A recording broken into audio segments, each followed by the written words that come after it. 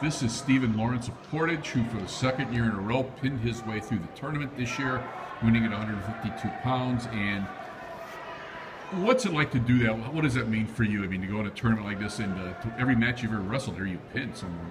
Um, it feels pretty good. It was nice to do. Um, yeah, I- like I said earlier, this was my goal going into the tournament was to get all pins and come home with a uh, gold medal and uh, to do it again and bring it, bring the big trophy home with my teams. I was gonna say, by you doing that, getting those extra points, and uh, Caleb and Geo and Gage, I mean, what's that mean? You guys have picked up quite a few points because you pretty much pinned everybody.